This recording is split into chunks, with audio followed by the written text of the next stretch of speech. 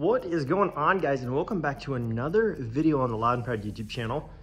Welcome back to another reminder that you can enter to win this OBS 73 Power Stroke plus $5,000 in cash. We'll show you that truck a little bit more if you haven't seen the website or the ads or any of our partners posting about it yet. It's pretty freaking sweet. Thing is freaking gorgeous. No, those are not oil drips from this truck. And then for Nasty Red, it's tucked in here. Nothing's touching, but it's close. Trying to keep all of our equipment indoors. We should have a winner for this truck in less than two weeks. So just keep your keep your eyes out for Instagram and stuff like that. And do not engage with any conversations on Instagram with people saying you won the truck with a fake account that looks like ours because anybody messaging you saying, oh, you won this truck plus this, you got to fill out this information. It's a scam and don't contact or communicate with them at all. Just report them and delete them. But 30 times entries are live for launch week for this thing right here. So do not miss out on your chance to get 30 times entries. Dual entry was from June 21st to the 25th, which was simply a period of time where this giveaway and that one overlapped for five total days. And anybody who entered during that time was entered for that giveaway right before it ended on June 25th.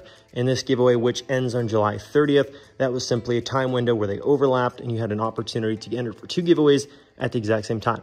However, this giveaway is live right now and it does run until July 30th, like I said.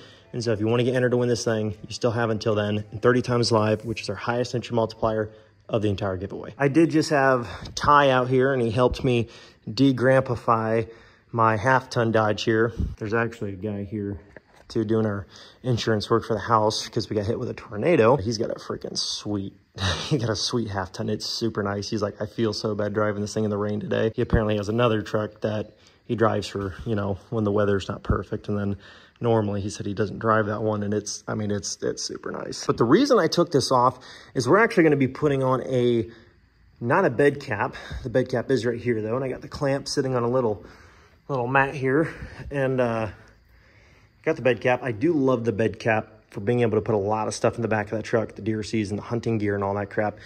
But when it comes to just summer driving or early in the deer season, when it's so warmer out, we're not packing as much clothing or doing any kind of like traveling like we do later in the gun season. I do kind of like the idea of just having a tonneau cover.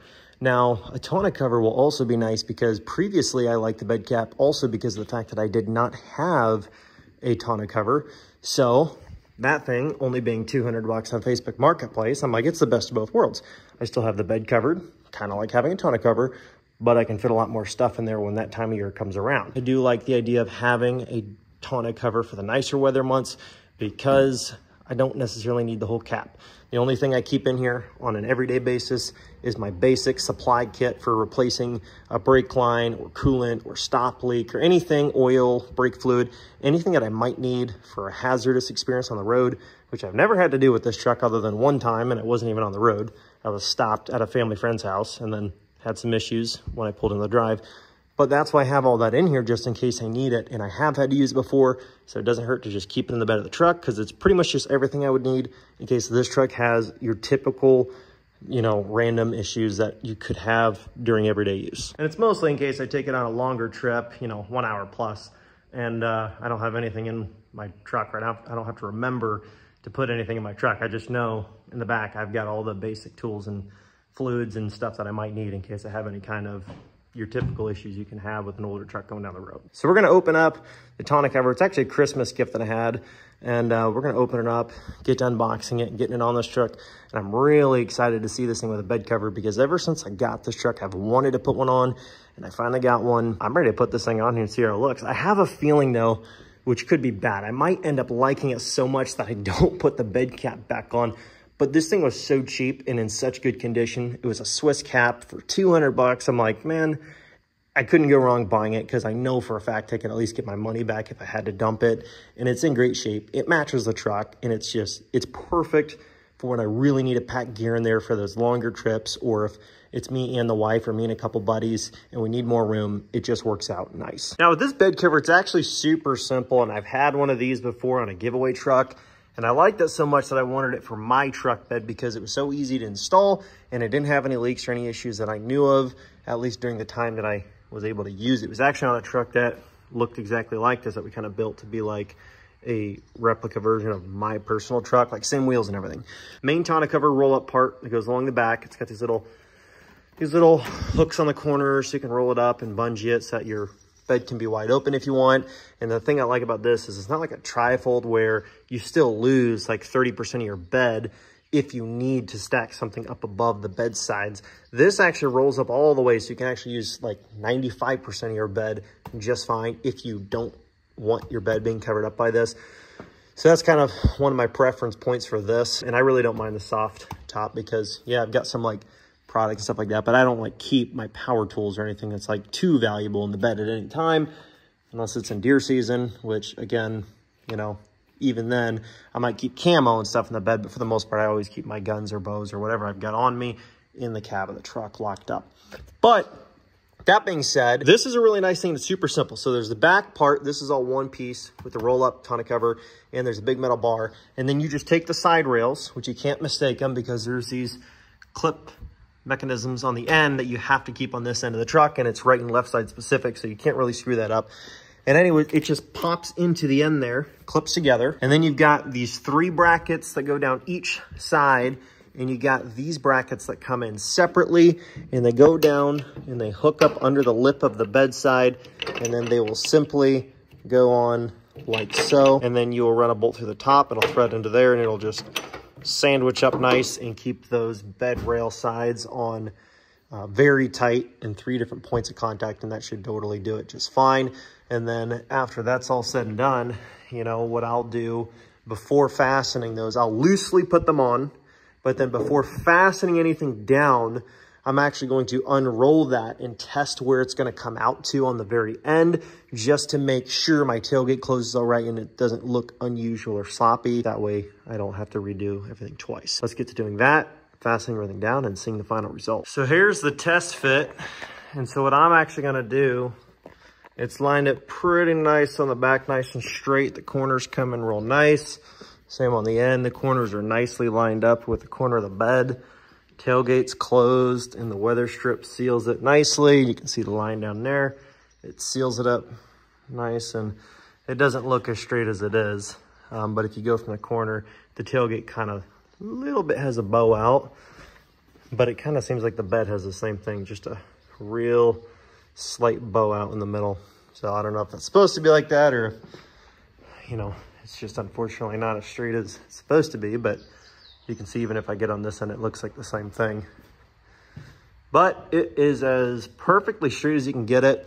And I don't have any of the clamps tightened down yet. So what I'm gonna do now that I know where I want it, I'm gonna put the clamps on the very end, tighten down on each side, and then unroll it all the way back up and clamp down the rest because the end of it, in my opinion, is one of the more important spots because that's what determines the spacing and whatnot um, for this to be able to latch down where it's supposed to and hold position. And of course, once we put the brackets down, it'll kind of sandwich this down and close those gaps. So it's not such an ugly little space there. So let's get that clamp down, unroll it, put on the other clamps, and it should be good to go. So let me show you how we got this. It is all fastened so tight that when you move it, you just move the whole truck. So this thing unrolls and I know some people like, oh, I don't like the roll-ups because sometimes it can be hard to get the, the actual tonneau cover itself to stay tight. Well, there's actually metal bars in between there. And all they do is they make sure that they fall in between that gap between the rails and they're actually snug. And then once you get to the end here, this is what I really like about this one. Got these grooves on the very end, which are very snug and it pops in. Sometimes you need two hands, but you take this bar, you just pull it down. That's all you do. And I just like to go down the side of my bed. Just make sure the Velcro stuck down. Good on the other side. Just make sure it's nice and stuck down. And that's it, literally, like just a simple bed cover like this does transform the look of a pickup.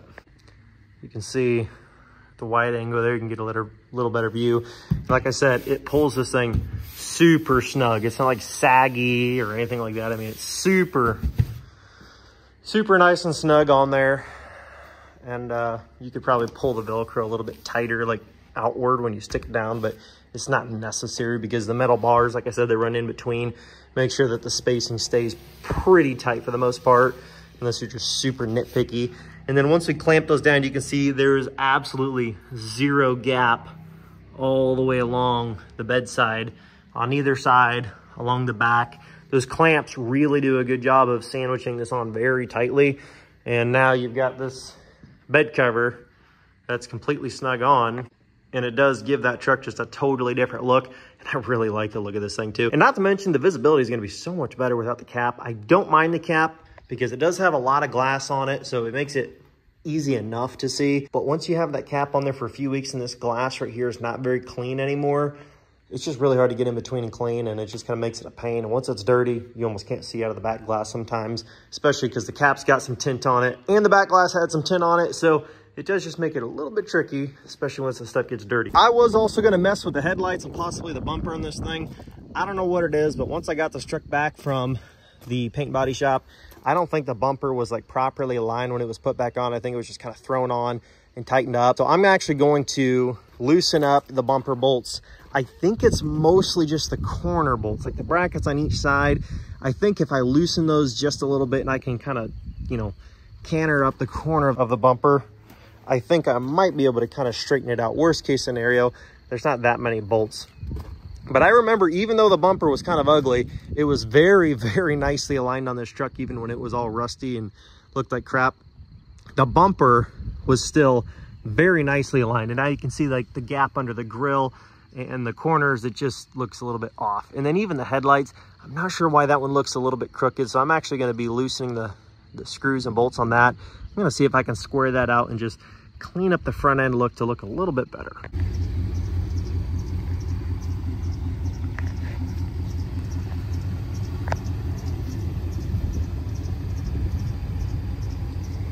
Man, it, it was really hard trying to line that bumper up and I just cannot get it perfect. I mean, like when you're looking at it straight on, like it's kind of tight in the middle, but there is a pretty even gap on both sides. Um, trying to get in the center as much as I can. It like is a little gap and it's tight in the middle and then it's a little gap. I don't know if it's because that new plastic I put on top back when I got the truck done last summer, if it just doesn't fit right or what, because you can see too, there's more of a, there's more of a little gap in the body line on the bumper over here and a little more gap over there and then it's a little more tight in the middle here also so I don't know I don't know if there's like a fitment issue with that. But like the corners even, I can't get them to totally line up. I mean, I can get them like close. But that's as close as I can get it. And I don't know why, but I cannot seem to, just can't seem to get that to tighten up any more there. This side I got just a little bit better, but it's still just, I cannot get the the body line to sit flush. And again, it could be because like the plastic that I put on top here, the new top pad and this plastic down low, these are brand new. The bumper's original, but the plastics are not. And so I'm guessing it's just one of those stupid things where the aftermarket plastics, they're either just not the right fitment or what. It just kind of makes the body lines look worse than they are because you can see like there's a big gap here and then it's a really small gap over here. So I don't know. The bumpers, honestly, probably just about perfectly lined up, but the plastics just, they're just like not the right shape or something. So it just kind of makes the, the corners of it look a little, a little bit ugly. I'm not a huge fan of that. But I did get that headlight squared away better. I don't know if you guys remember, the spacing on it was kind of bad. Pop this rubber back there a little bit better. But the spacing on the top of the headlight was like an inch gap there and like a quarter inch over there and I got it pretty well to where they look almost identical and you can see freaking fog in there now I don't know why that happened you can see the headlight flows at the body line really nice same with this side flows at the body line very nicely versus before that one for whatever reason was really out of whack and I don't know why I never fixed it when I first put them on there, but for some reason I didn't, but it's better now. But yeah, that's, uh, that's the update for the bumper and headlight realignment. And then the bed cover, you can see that really cleans the look of this truck up like crazy. And you can just see how much, how much better that freaking thing looks. It looks so much better. Makes the truck not look so grandpa-ish, you know what I mean? That's why we call them a pap cap. We're thinking of a like a pappy or a papaw type of thing to do, but it does have its functionality, I'm telling you, but this is definitely a better look for me during the summer. Definitely, definitely preferable. And the reason I put the cap on was not because I like the look of it so much, but because I like the functionality of it so much. And so I think that's kind of where old guys are just kind of like misunderstood. It's not that necessarily they love the look of a cap more than without the cap. I think it's just because they get to a certain point where they go, you know what, it's not the prettiest thing, but it's functional and I can get more use out of it year round than without it. So I'm gonna keep it on. Do not forget guys, if you wanna get entered to win our beautiful 97 Ford F-250 7.3 power stroke with a ZF5 manual transmission and $5,000 in cash. This is our highest multiplier of the entire giveaway. 30 times entries are live until Sunday, July 2nd. So hit that link, place an order, and you're automatically entered to win that truck plus $5,000 in cash. I'll catch you guys in the next video. Peace.